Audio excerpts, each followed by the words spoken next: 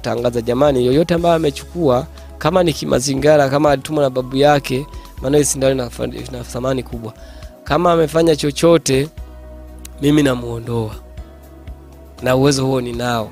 Alikuwepo jamaa mmoja alikuwa kidogo anajifanya kwao wanajua dawa, nikaambia hakuna naye nishinda hapa Tabora, hamna mtaalamu hapa, wote ni watoto tu, maana mimi sinajua Kibondo kule wameniwezesha, wamenipa degree. Nikaambia mimi naondoa mtu. Baada ya pale, siku moja tu ilipita, nikawa ile sindano nimeitwa nichukue, nikachukua sindano yangu. Uliipataje na kipindi hicho ulikuwa fomu ngapi wewe? Kipindi hicho Mm. kipindi hicho nilikuwa nipo nilikuwa form 3 okay. Napata matatizo ya sindano eh. Nikawa wakawa mbidi walirudishe pale pale walichochukua, wakasema bana, weka angalia, ulipoweka utaiona. Waka nikaa nimeenda asubuhi ile, enda asubuhi, sio alikuwa amenitega nini bana, miguu ikaanza miguu ikaanza kuuma, nikashindwa kutembea, nikakaa pale pale kwanza uwanjani. Eh, wanafunzi wakaanza kuzomea lichau lichau, eh, nikasema imeshakuwa bara. Ningekuwa na fimbo yangu hapa ningepotea. Nikaa nawaza fimbo nimeacha nyumbani, basi sasa wameshaanza kunisema hivi nenda mchawi. Ah, si bwana nipotee tu ili waone live kabisa kama kama nina uwezo. Basi nikaa nimeokota sindano nikakaa pale. Baadaye nikaa nime, nime, nimeingia tu nikasubiri waingie tu darasani moja kwa moja, nikaa nimeenda tu darasani moja kwa moja. Kwanzia pale wanafunzi wakawa sawa na wananiogopa. Nakumbuka kwa cheo cha shule nilikuwa nimepewa akademiki Nilikuja kuwacha baada ya form 4 sasa nili, nilizidi yani nikawa ni mzururaji kwenda sehemu mbalimbali kwenda ku- kuongeza mizizi kwao wakawa wamenitoa kwenye akademi kwa maana akademi atakuwa si, si unakosa, unakosa shuleni wakawa amenitoa kwenye uchaguzi wa mwisho wakamweka kiranja mwingine mm. baada ya hapo Kwa kwa hiyo shule uliacha kwa njia hiyo ama uliendelea? shule bana nilikuwa nasoma kwa mahesabu kwa kweli mara chache sana Ni- yani ya- mitishamba ilinizidi ila niliendelea mpaka nikamaliza kamaliza form 4 ila yali- yaliniasili sana sikufaulu form 4 pata maksi ndogo sana kwa hiyo na- na- najilaumu sana yalinikosti sikujua kama hayana, hayana faida mm. Na, na ulikuwa unasema kwamba mlikuwa mna- mnawafuata watu wa aina moja tu e, kwamba ni moja kati ya vitu ambavyo viliku, vilikufanya wewe uamue kuacha kwamba mlikuwa mna ni, ni watu wa aina moja tu. Kwa hiyo hiyo ilikuwa pengine wewe haikufurahishi, ulikuwa unataka mnachanganya changanya, yaani ambao mlikuwa mnawafuata nyewe ni watu ambao wanatumia mitishamba tu. mtu anayetumia mitishamba Mm. Mtu ambaye anatumia dua kuna dua za kulala huyo namwingilia tu naweza nikata nikampiga viboko vingi sana. Hamna lolote kwa sababu yale mapepo na- yanayomlinda kwenye zile dua yale mapepo nakuwa nina uwezo nayo ni madogo kwangu kwa uwezo ambao nakuwa nao. Kwao naweza nikamwingia nikamtwanga fimbo kwa sababu yale nikiingia mi ananipisha sababu pepo la mzimu ni pepo kubwa sana yani ni pepo ambalo lina nguvu na ndio maana kuliita unatumia muda mwingi sana. Kwa sababu nakumbuka niliwahi kupewa siku kumi na nne pasipo kusalimia kumpa mtu mkono wala kumpa kitu kwa mkono wala yeye kukupa kitu ukapokea kwa mkono. Kwao pepo lile ni pepo gumu sana. Sasa lile pepo mtu yoyote ambaye anajidanganya amesoma dua ya, dua ya kulala nadhani kaingia nikamtwanga fimbo nyingi sana au nikamgaragaza kuna wengine kuna ingia unamniga tu unamninginiza unahisi unataka kumuua tu afu unamhurumia mm. okay. mpaka mtu awe yuko vizuri kweli kama ni faya awe faya kweli Okay. Kwa hiyo wapo ambao walikuwa ni, ni, ni, ni, ni watumishi wa Mungu lakini mna mnawaingilia. e, kuna wengine watumishi wa mungu unaweza ukaingia ukamgaragaza uka- au ukaingia ukatesa familia watoto wake uka pushipushi na kuna kingine ambacho nataka ni washauri watu hususa hawa watu wa mungu wakumbuke anapoomba familia au anaizungushia damu ya yesu kwa sababu niligundua kuna nyumba nyingine unaweza ukaingia ukafaulu kupita ndani ukuta ni nyumba labda ya mchungaji ukafaulu kupita ndani watoto ukawaburuza, ukawa- lakini mwenye nyumba ukamshindwa mchungaji ukamshindwa. Kwao huenda nakuwa yeye amefanya maombi ameji, amejipanga yeye kama yeye familia ameisahau hilo nalo wajaribu kuli, kuliangalia Okay. sasa nitaenda kwenye safari yangu Ya, safari ya wokovu ilikuwaje? Mm. namna gani nilikuja kuokoka na nikaamini kwamba wokovu una nguvu Mm. hapo wakati naokoka kwanza ba, baada ya kuwa wale vijana wamekuja kutaka kunisomba ilibidi nitafute mtu wa kanisani Ah, ni kama mungu tu alinisaidia. Jamaa kaniambia bana mi nahitaji pa kukaa. Sina pa kukaa. Mi nilikuwa na chumba kizuri. Nikaambia bana uje ukae. Lakini bana kaambia "Ah, uje ukae tu. Kwa nikuta ni tayari nimeshanyooka. Kaambia uje ukae. Kaja ukaa kaanza kuwa nanishawishawishi baadaye nikaenda ikapatikana alikuwa akiniambia masuala ya mungu na namwambia bana kama umechoka kukaa humu ndani uondoke baadaye nika kipindi hicho nilikuwa na begi langu lilikuwa ile begi linakaa ufunguni. Begi limejaa dawa za kutosha dawa nyingi sana. Basi. Sasa kipindi nime ile fimbo ile fimbo nilikuwa bado ninayo lakini nilikuwa nimeacha kufanya zile kazi. Vitu vyote ninavyo ila kazi ile siitaki. Yani nimeamua mimi kama mimi. Ndo kisa cha kuja kunijia. Akawa nanishauri na nini na nini baadaye sasa akanipeleka kanisa moja kwa mchungaji Arubano Endi. Alivyonifikisha pale nikaenda kutengeneza kinanda. tengeneza kinanda, Arubano akawa ameniona. Alivyoniona akaniambia, akaanza kuniambia ambia habari za kuokoka. Nikaambia mimi na kwanza mimi hapa nakushangaa. Naona kama unanichanganya hivi. Kaambia bwana mimi ngoja nimalize kutengeneza kinanda chako, kwa sababu mimi taaluma yangu ni ufundi, kutengeneza vinanda maredio matv masabufa ni, ni kazi za ufundi vitu vya umeme. Kwa hiyo alivyoniambia vile nikawa kama nanichanganya kaambia bwana ni mimi nani? Aka sasa akakataa kunilipa. Kaniambia uje kesho nikulipe. Kama ananitegeshea nikutane na ibada. Sasa ah, kaona hichi hii hela nitaizira hii basi kipindi hicho nimeacha kuhudhuria vikao na nini na ninatafutwa. Lakini nimeshaleta mtu tuwe wawili niwa pale pale kanisani tuwe wawili. Najua kwa sababu tukiwa wawili kama ile inafikiaga hatua naamka naongea nao huyu atanisaidia hata kupambana nao. Kwa hiyo nikawa ni target ya kujihami. Nimekaa na kijana anaitwa tobias kwa naye anasali kipindi hicho kanisa la injili pale uzunguni. Nimekaa naye tobi hasa jumapili ile sikuenda. Nikaenda ibada imeisha nikachukua hela yangu. Sasa ah, usiku usiku nikaona katika bibi kamerudi. Nikaona kana- kakaniambia maneno fulani makali. Kaambia wewe nitakuchukua ukawe msukule ukanisaidia kwenye kazi zangu. Maana umekata. Eh, kasema mnataka mnichukue ikabidi sasa nitafute watumishi wa mungu anisaidie kuna mchungaji mmoja nikampata alikuwa wa mwanza akanipa maelekezo akaambia bana ukiokoka au hawatukuweza au wanakutishatisha tu. Basi sasa ikabidi sasa nikakaakaa nika ah, sema sasa hapa nifanyeje kabla hawajaniua? Wameshanipangia sasa watanifanya niwe msukule. Yule bibi siku moja nilikuwa nimesahau siku moja nipeleka safari ya mwisho kabisa baadaye nikaregea nikasema kwa sababu amesema ataniua ngoja nimkubalie. Siku moja sasa kumbe yeye ameshaona malengo yangu sio sio ya, ya kufanya naye kazi. Malengo yangu ya baadaye sijui wanajua kupima kwamba huyu baadaye si hatuko naye pamoja. Baadaye akanipeleka akaniagiza kaburini nikafufue mtu. Kumbuka alinipa fimbo kaniambia niende nikagonge kwenye kaburi maiti itatoka ikishatoka itakata ulimi. Nitaikata ulimi. Eh. Wewe nilikuwa sijai kufanya hicho kitu ilikuwa ni mtihani mkubwa sana.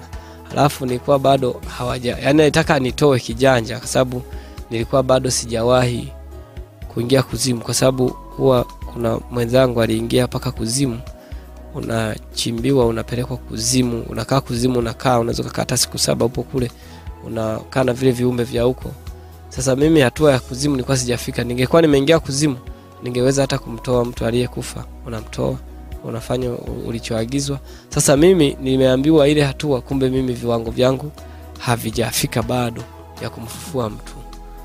Eh. kuna fimbo ule mti si unaitwaje? Kuna fimbo moja unagonga mara tatu pale. Ila sidhani kama itakuwa imechanganywa sijajua kwa sababu hiyo hatua. Siku mimi nimepewa fimbo gani kagonge kwenye kaburi itatoka maiti utakata ulimi uniletee. Katafute kaburi ambayo ni mbichi. Nilivyoenda ndugu yangu ni barani. Alafu naenda makaburi yale makaburi ambayo hapa tabora naona ndo mengi kuliko. Panatisha hamna hata watu kule. Kata saba ya usiku. Kipindi hicho nilikuwa na dawa najiamini niko fresh yani siwezi kuguswa na mtu aina yoyote. Nikafika mle. Sasa nagonga mara tatu nikashtukia nimezingirwa. Baadaye atoke huyu aliye kaburini nikashtukia nimezingirwa nilivyozingirwa nika ah, sasa pale sasa kipindi nimeshaanza kuambiwa nakumbuka mchungaji mmoja niambia yesu anaweza. Ah, nikasema sasa hawa niki- ina maana kuzingira hivi tayari wa dawa zangu ziko chini hawa akina nani hao walikuzingira? Wale sijui yalitoka wapi ni majitu tu marefu marefu yamenizingira nimekosa pa kupita. Sema hapa haya yameshanizidi uwezo. Natokaje hapa nimite mganga hakuna. Nakumbuka nilisema yesu wangu nisaidie. Niliposema yesu wangu nisaidie nikaona hayapo So, kumbe kumbe hii jina linaweza kumbe yesu anasaidia. Hii sasa ile na- najiandaa nikimbie nikaona hayo tena. Nikabidi sasa niseme ah waniambia ukikemea yanashindwa haya hayana nguvu. Kwa jina la yesu niachie kwa jina yesu yakivyoachia njia nilivyoona hayapo nikaanza mbio. Niko uchi afu kipindi hicho ulikuwa huendi uchi. Unapoenda kufanya kitu cha hivyo huendi umevaa nguo. Kwao nilikuwa nipo uchi wa mnyama. Nikakimbia mbio nyingi sana. Kipindi hicho sina fimbo nimeenda tu mimi kama mimi. Alinituma niende mimi kama mimi. Kwa hiyo fimbo nilikuwa natumia kwa matumizi yangu sasa kwa matumizi ya kuagizwa.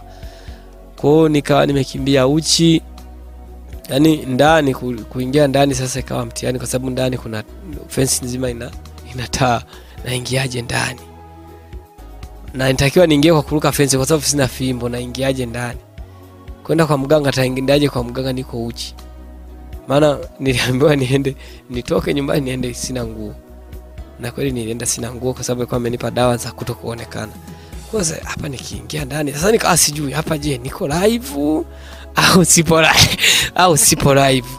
Kwa hiyo ilikuwa mtihani kwangu kwa kweli mtangazaji nikana yani sijui kama niko live watu wananiangalia au sipo live mtu unaweza tu kwa sababu kuna muda unaagizwa sehemu ende uchi mchana unaweza ukaagizwa mchana haupo live. Kwa hiyo hata mtu mnakutana naye fresh tu yani hakuoni. Sasa pale kwa sababu ni kule nimeshindwa nikaa najiuliza nipo live au sipo live? Ah, kwa kweli nikaa sijui kwamba niko live niko uchi watu wananiangalia au nikiingia ndani watu hawatoniona sasa nika kabidi niingie ni, ni, sasa ki, ki, kutumia physically kutumia mwili. Nikapanda geti nikapata fensi nikatafuta jiwe nikapurua chupa nikaingia. Ah, hapo niko uchi nikaruka tuti karukia mle ndani. Sasa nikabidi niwe na, naenda kwa sababu najijua labda niko live watu wakinitoka nje ilikuwa saa ngapi? wataniona. Ilikuwa kama saa nane ya usiku. Okay. kwao nikaa naingia na, na hunyahunya kama mwizi hivi.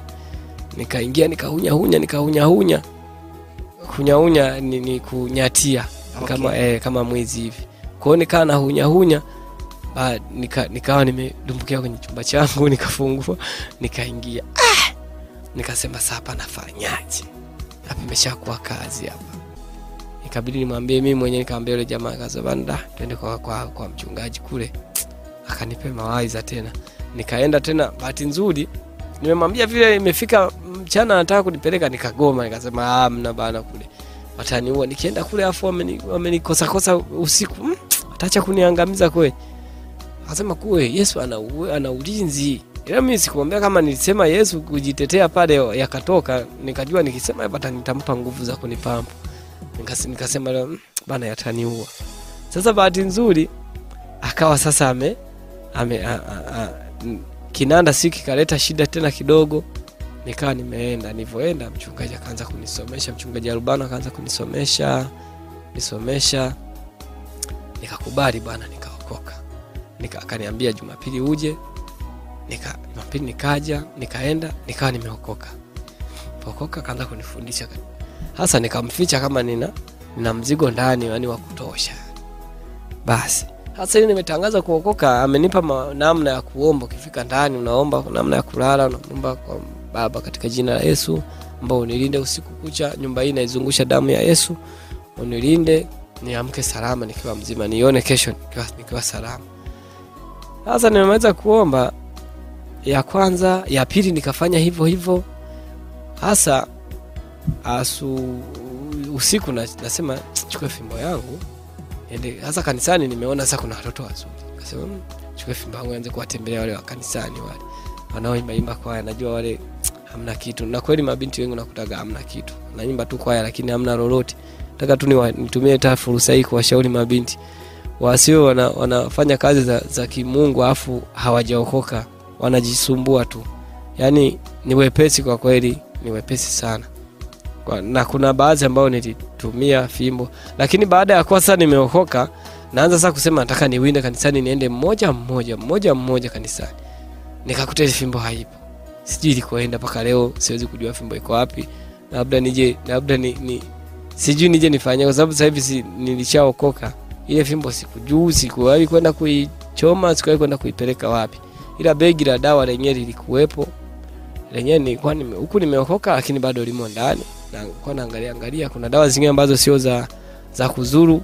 Unajikuta unatumia siku zingine labda kama unaumwa unafanyaje unakunywa lakini baada ya kuwa sasa navyozidi kukaa na mchungaji yale mafundisho nikaa naanza kuona zile dawa sio sio mahali salama sio sio salama kukaa na mimi. Na nikawa sasa nafuatiliwa kumbuka nilikuwa bado yule bibi anakuja anakuja nimelala anakuja.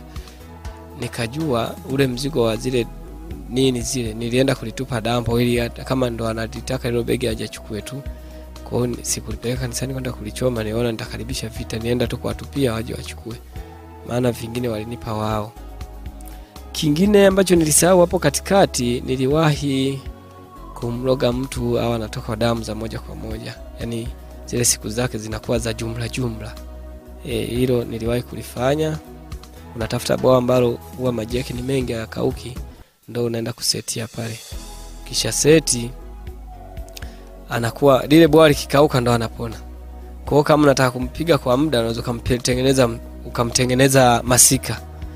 E, kwenye yale madimbo ambayo unakuta masika yanajaa maji kwa muda mrefu. Kwa hiyo unaweza ukaenda pale ukamtengeneza pale. Lile bwawa litaka masika ikiondoka, iki- kiangazi kikianza vidimbwidimbwi vikianza kukauka naye anapona. Kwa hiyo unaweza ukampiga tu kwa muda. Hilo nilikuwa na uwezo nalo nilifundishwa namna ya kufanya. Kwa hiyo kwa sasa tangu uokoke bado kuna shida yoyote ambayo unaipata ama shida zimeisha kabisa? Baada ya kuokoka niliwahi ku, ku, ku, ku, ku, kupata mazingira ya kishetani yani kuingiliwa. Unajua unapookoka vishawishi vinakuwepo. Maana maana neno kuokoka ni kuacha dhambi na na kumtegemea yesu ambaye ndo mungu kwa mjibu wa neno wa, wa sasa nilivyoanza maisha ya kumtegemea mungu nahisi shetani alinizidi kete kidogo aka, akataka kunirudisha kwenye wimbi la, la uhuni kwenye wimbi la, la, la umalaya. kwa hiyo nilivyorudi huko nikawa huku nasali lakini huku bado na, napata na, na, nakuwa muhuni muhuni. Baada ya hapo nikabidi nianze naona ni mungu mwenyewe. Sasa naoteshwa nipo kwenye mikutano ya injili naambiwa nitubu.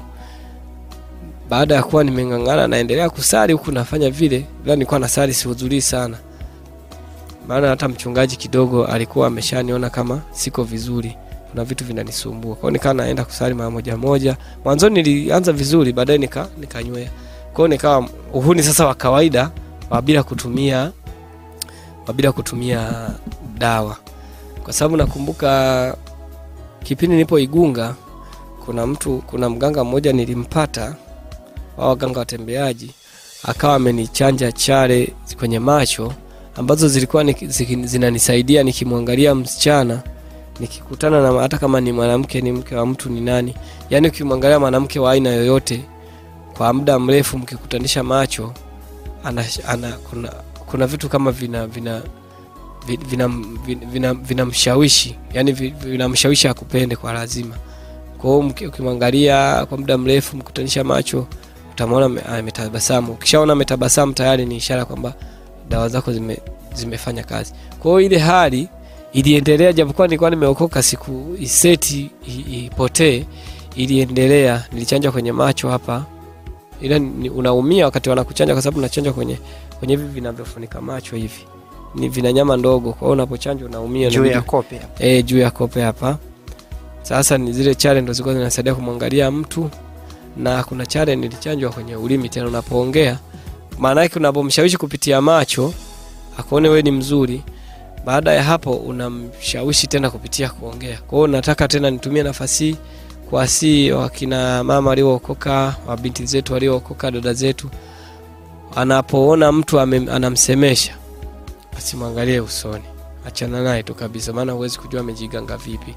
Kwao kama una, umeokoka vizuri utakapomwangalia naye usoni zile zi, vile vimashetani alivyonavyo vitakushawishi. Hiyo usiangalie naye usoni hata kama nakuuliza njia mwingine anaweza akasema kama nakuuliza njia baadaye akaanza kama kukusifia. Kwa hiyo hilo wawe nalo makini. Na asimsikilize mtu kwa muda mrefu. Labda mtu amekusia samani eh, dada samani. Eh, nauliza ehe nauliza njia ya kwenda. Usimwangalie wewe amwangalie afu potezea unamsikiliza. Maana kumpa sikio sio sio mpaka kumkodolee macho. Eh, unamwambia ehe unasemaje bana hapa nilikuwa nauliza njia ya kwenda sehemu fulani. Kwa hiyo ukiona wewe mwelekeze fast awe tembea. Lakini ukikaa tena unakaa unamsikiliza kuna dawa tena zinachanjwa kwenye ulimi. Zile dawa zinaweza zikakufanya hata kama ulikuwa umeokoka ibilisi yale mashetani aliyonayo yana- yanakuja ndani ya wewe yanakushawishi unajikuta umefanya kitu ambacho hakijakuwepo. matokeo yake nakuta umevunja ndoa yako bure wakati ndoa ulikuwa unaipenda baadaye unaanza kumsingizia shetani. Kwa hiyo umakini unahitajika. Kuna dawa kama hizo zipo na zinafanya kazi kweli mi nilikuwa nazo.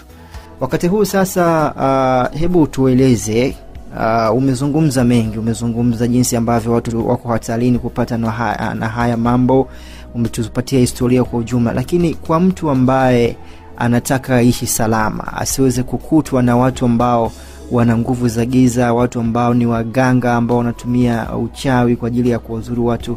Mtu anaweza akafanyaje ili aweze eh, kuwa salama? Hebu tueleze kwa upande huo. Mm, kwanza kabisa nipende kuwajulisha wa- wasikilizaji kwamba inawezekana kuishi maisha yasiyo ya kishirikina maisha ya bila dawa inawezekana na ndiyo maisha mazuri kwa sababu hauna mpango wa kwenda kulinyuu hauna mpango wa kusema nimepata shida ngoja nika ni- nimtafute fulani. Hakuna kitu kama hicho. Mda mwingine unaweza ukawa umepewa dawa na mtu fulani akaja mtu anayekuzidi umri anayekuzidi umri wa ki- wa ki- wa kidawa akakusumbua. Au muda mwingine zile dawa kingine nilichokuja kukiona nimekuja ku observe kwamba huwa yana, yanaweza yakarudi yakapita hata kwenye familia. Ukaona familia imeanza kuwa inaugua ikawa na matatizo fulani au kama kwa sababu niliona mfano lilipita na mtoto wa jirani. Kwao ushirikina siku zote huwa una madhara. Na mizimu kama mizimu nilivyokuja kwa observe ni kwamba mizimu huwa ina malipo inalipa. Mimi kumbuka niliambiwa niachinjie mbuzi ndo yafanye kazi vizuri. Na japokuwa sikuelezea kwamba ilikuwaje lakini nilishawahi kutoa kondoo nishawahi kutoa mbuzi lakini sikutoa kwa niaba ya kuyafanya yaue. Mwanzoni nilikuwa nitoe ili yaniruhusu mi nianze kuwa naua watu. Lakini sikutoa vile vitu lakini baadaye ilibidi nitoe kwa ajili ya mambo tu ya kawaida ambayo nasaidiwa ilibidi nitoe damu nichinje vile vitu damu yachukue damu.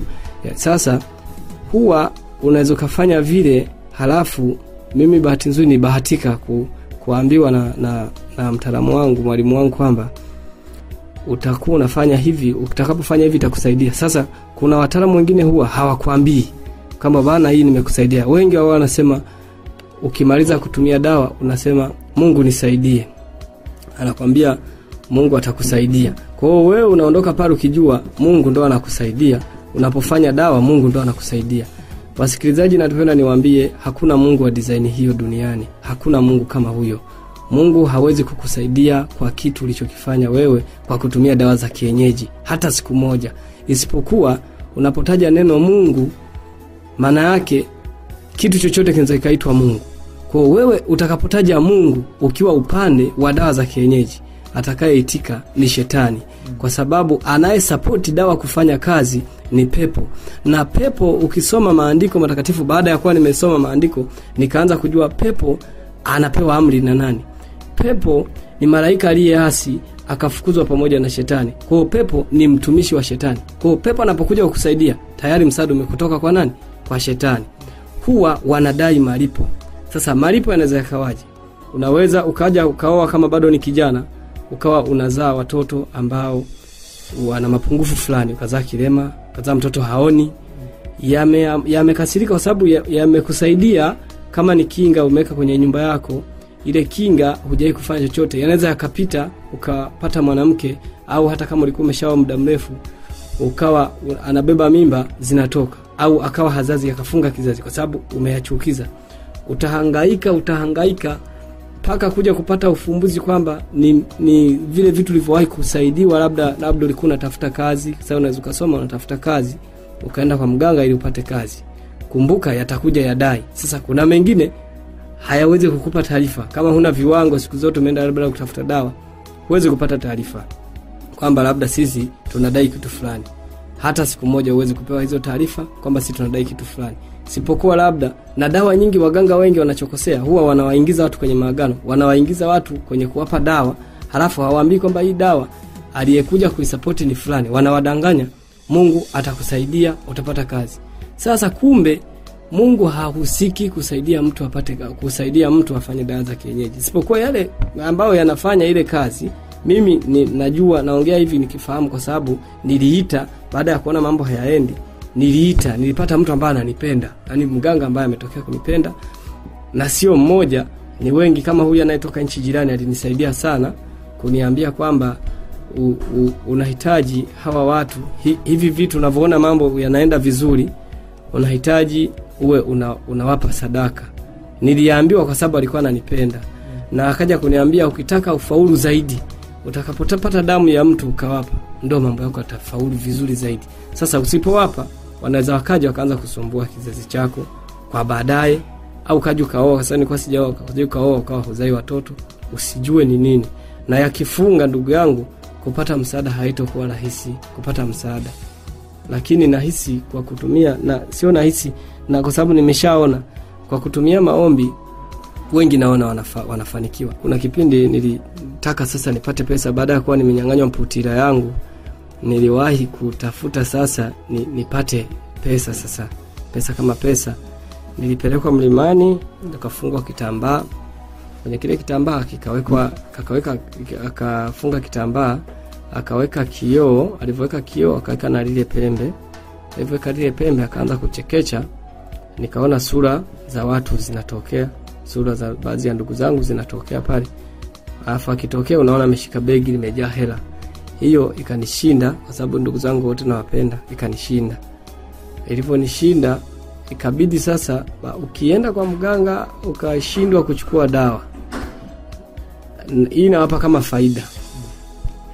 Ni kwamba inatakiwa utengeneze kitu kwa ajili ya kile ulichotaka kukifanya kwa sababu wengi huwa wanateseka baada ya kutoka pale anakuwa masikini hata yale uliokuwa unapata ya kawaida inapotea kabisa unakuwa upati yale mamizimu huwa anachukia kwamba kwa nini huyu ametujaribu. Tulijua ametuletea sadaka afu ametukwepa. Huwa wanakuaga na hali ngumu sana ya kimaisha baada ya hicho kitu. Sasa ukienda mimi niliambiwa kwa sababu umekataa hapa bana inabidi tutafute damu ya mnyama tuwape kwa sababu tumewaleta kwenye kazi fulani halafu wewe umeshindwa kutekeleza sikutekeleza mauaji. Kwao nilichinja jogoo mwekundu nikawa nimewaomba msamaha. Kuna kuna vinyumba vya mizimu wale wanaenda kwa waganga mnafahamu tujumba twa mizimu. Tutujumba ndo waga mnaendaga najua mnaoenda mnaendaga tutujumba kutuambia maneno fulani. Eh, kwao nilibidi ni, niende kwenye kanyumba ka mzimu nikaongea wanisamehe nimewaita afu sijawapa kazi wafanye. Kwao baada ya pale ikabidi nitafute dawa tena kwa ajili ya, ya kupata utajiri pasipo kuua. Nilipewa dawa ambayo ni ya mtihani ambao nilienda porini kwa, kutoka kwa mganga pale unapoenda nikakutana na barabara. Ile barabara ikaja basi inaimba nimejaa imejaa watu abiria. Mimi nikawa najua ni basi tu ya kawaida. Inakuja kama nataka nipamie nimeambiwa nifanye vile. Sasa sikujua huko mbele kuna nini endapo nitafanya kwa hiyo basi ilipokuja mimi kwa kweli niliipisha niliogopa kufa nikaipisha ile basi. Baada ya kupisha tu basi sikuiona. Kumbe nilikuwa nimepewa tu mazingara fulani nipate mali. Hiyo tena ilinishinda. Ikabidi nikaenda kwa mtaalamu mmoja huyu mzee anapatikana mwanza akanipa dawa ambayo ila asili yake ni kigoma. Kuna dawa ya kufa. Ukitaka kupata mali unakufa mwenyewe anajitoa mwenyewe. Hiyo ndo dawa ambayo wanasema haina mashariti ila masharti yake ni magumu kwa sababu hamna shetani huwa hatoi vya bure. Yaani watu mfahamu kwamba shetani hatoi vya bure. Utapata mali lakini zitakutesa baadaye. Zinaweza zikarudi kuanza kuua familia kuua ndugu. Kwa baadaye kwa muda huru unachukua hakwambii. Lakini kwa baadaye yatadai. Kwa sababu mimi mwenyewe wakati nimepewa fimbo ile ilianza kudai ilianza kudai. Ni hadithi ndefu sana ilidai nini na ilini- ili- iliniharibia nini hiyo ipo ta, kama nitakuja kupata muda takuja nizungumze. Kwa huwa vinadai. Sikuambiwa itakuja idai sikuambiwa nini. Ni kitu tu nilipewa. Kimepakwa mafuta tu ya, ya kuwezesha mtu kupotea. Au mafuta wachawi wanajua ni mafuta gani. Maana wachawi sasa ndo wanakuaga wana, nayo. Hata hawa wanaotafuta fedha za kutafuta rupia zile noti hela za zamani shilingi zenye matobo katikati zingine zina chata ya simba zingine zina zi- zina nini zinakuwa na- zimetobwa katikati zinaitwa rupia. Kuna watu wanazitafuta ukizipata unaenda kwa wahindi wanakupa hela. Au arabu wanakupa, wanakupa fedha nyingi sana wanazinunua zile fedha. Kwao yale mafuta yanatumika ukiwa nayo unaweza ukaipata ile shilingi. Sa yale mafuta yanawa- yanawawezesha watu kupotea. Sasa baada ya hapo nilipata madhara. Sasa nataka ni waambie hawa ambao unakuta anaenda kwa mganga anapewa dawa ya mali. Mimi niambiwa nitakufa kisha kufa nitafufuka watanitengenezea mazingira ya, ya, ya, ya, kupata matatizo ni, ni, ni ugue ni, ni, ajia, kama ajali nife baada ya kuwa nimekufa nitakuja sasa nifufuke baadaye ndo niwe na hera Nita, kwanza nikishakufa wakaniambia takiwa umeoa. Kishakuwa umeoa mnaenda wote na mwanamke mnakunywa dawa pamoja. Kishakunywa dawa pamoja wewe unakufa. Wakishakufa mke wako ndo atakuwa nakuona mle ndani atakuja atafanya mazishi atakuzika na nini ukishakuzika yeye atakuwa nakuona utaoza mwili mzima. Ukishaoza utakuja sasa unatoa funza. Zile funza mke wako atakuwa anazifagia anaziweka kwenye vindoo vya lita vi- vindoo hivi vindoo ndoo vya lita kumi hivi. Unakuwa unaweka mlo unaweka na fu- mpaka unaoza unabaki skeleton tupu mifupa mitupu. Ukishabakia mifupa mitupu kwa baadaye sasa utajirudi. Maana alisema unakufa miezi miwili baadaye utafufuka utarudi sasa kwenye vile vifupafupa vimebaki vimelala kitandani utarudi momo uta, utakuwa mtu tena. Sasa ambapo ambacho ni, ni, ni sikujua akasema ukishakufa pale ukishakufa unapofufuka natakiwa watu wakikwambia bana mbona tulikuzika? Natakiwa ukatae futi mia mbili. Na mwanamke wako asiseme chochote. Ndani utakuwa unanuka mke wako ataona ile utasikia ile harufu lakini hautakuja ye- watu wakiingia ndani chumbani hawakuoni wala hawasikii harufu. Yeye kwa sababu umeshirikiana naye, kuna dawa anakunywa ndio maana inamtokea vile baada ya hapo ukishafufuka zile funza walizotoka kwenye mwili wako ndo zinakuwa ni, ni fedha